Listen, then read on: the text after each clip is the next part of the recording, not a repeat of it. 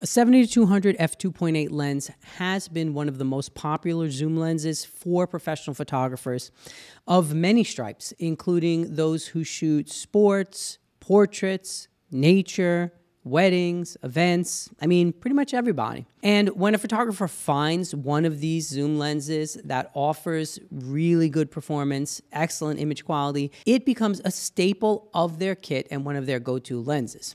I can personally attest to this because after 20 years, I'm still using my Canon 70 200 f2.8 lens, which still has awesome image quality.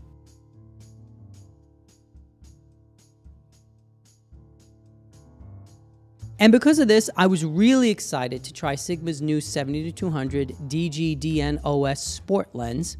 And I'm happy to report that it stands up to the very high standards of professional photographers and what we look for in a modern 70 200 2.8 lens.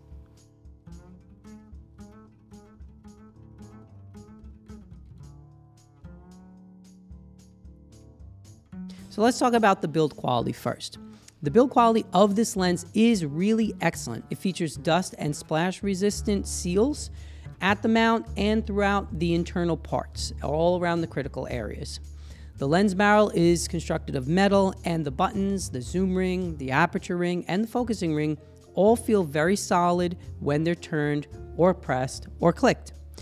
The lens has both internal zooming and internal focusing mechanisms that adds to the robustness of the design.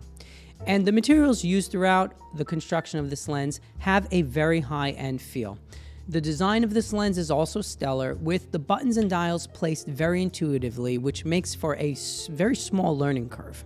Now, at first, I wasn't a fan of the zoom ring being at the very front of the barrel, but after a short time using the 70-200, I quickly realized that this placement was really excellent because the zoom ring is not getting in the way of the tripod collar, so your hand has freedom to rotate it without any encumbrances, as on some other 70 to 200 lenses. In handheld, this also makes for a nice balance between the camera and the lens. Plus, the buttons and dials are placed pretty much perfectly, so you can find them easily while shooting without having to search for anything. So it's very intuitive. One thing I really like about this lens is when you loosen the tripod collar, you can rotate it like other lenses, but it clicks into place at 90 degree intervals. So you can click it for vertical, horizontal shooting, and then you can click it also at the top if you don't want it in the way while you're hand holding. Cool feature. There are, however, a couple of quirks to the lens and its handling.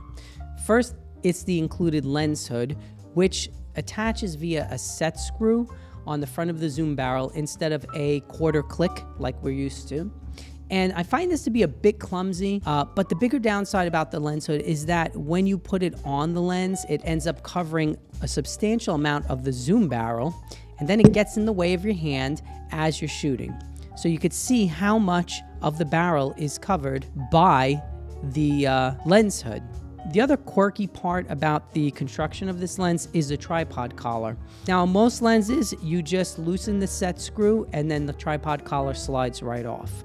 But on this lens, you have to actually unscrew four little screws on the bottom of the mounting plate and then you just remove the plate. So that is not convenient at all. It's a little quirky. I'm not sure why they did that, but those two things are the most uh, quirky parts of the design. The lens is driven by a high response linear motor, which really provides super fast, accurate, and silent focusing. The AF is super smooth, it's really quick, and it locks onto subjects' eyes with ease. I use this lens for a wrestling match, for portraits, and then for the most elusive subject of them all, children.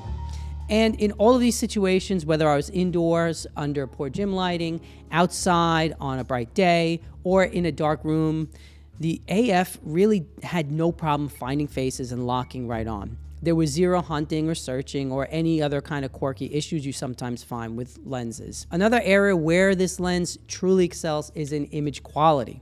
The images are tack sharp with rich colors, great contrast, and a lot of detail. And at all focal lengths, I was really impressed. And as a professional portrait photographer, this 7200 2.8 could easily replace my OEM 70-200 lens for all of my portrait work, both in and out of my studio. Now, further helping you get sharp images is the built-in optical stabilization, which has modes for panning and still subjects. I use the stabilization and it works really, really well. And since I use this lens 99% of the time handheld, I really appreciated the image stabilizer and it came in really handy. Another area where this lens excels is in the bokeh. Now, you do find some cat's eye bokeh around the edges of the frame when you're shooting wide open, but overall, the bokeh is super pleasing. I found it to be very nice. And the separation between the subject and the background is very nice and very natural looking. All right, so let's wrap it up. Should you buy one of these? Well, I would say if you're in the market for a 70-200 2.8 lens, this should be at the very top of your short list. Now, when you compare it to the Sony G Master, that lens is a little lighter, and I still think it kind of edges this out when it comes to the quality of the construction and the image quality. But you're talking very, very narrow margins when it comes to the trade off because this lens can be had for $1,500 versus the $2,800 price of the Sony lens. So you have to figure is it worth that price difference for what you're getting? I found that this lens performs really well pretty much in every circumstance that I put it through. The image quality, as I mentioned, is awesome. It's made very well. And I think that if you go with this Sigma lens, you're going to be very happy with it. If you're in the market for this lens, I would appreciate if you check out my links in the description below.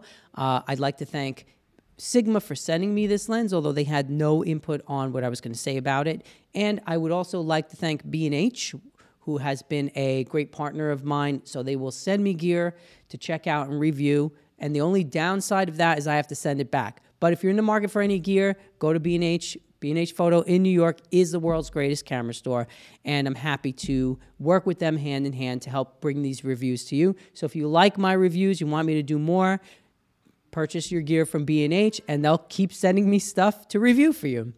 So that's all I have for you, friends, today. Here's wishing you an awesome day. Go out and take some great pictures. I will see you in the next one. Peace.